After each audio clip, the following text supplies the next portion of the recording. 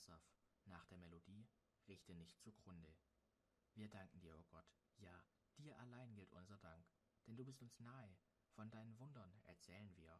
Gott spricht, wenn meine Zeit gekommen ist, werde ich Gericht halten und für Gerechtigkeit sorgen. Mag auch die Erde beben und mögen ihre Bewohner vor Angst zittern. Ich selbst habe die Fundamente der Erde unverrückbar festgelegt. So befehle ich nun den großmäuligen Angebern.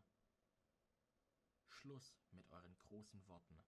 Denen, die mich ablehnen, sage ich, blast euch nicht so auf. Ja, hört auf zu prahlen und lasst ab von eurem Stolz. Tragt eure Nase nicht so hoch. Wahre Größe kann kein Mensch verleihen, ganz gleich woher er kommt. Denn Gott allein ist Richter. Den einen lässt er fallen, den anderen bringt er zu Ansehen und Macht.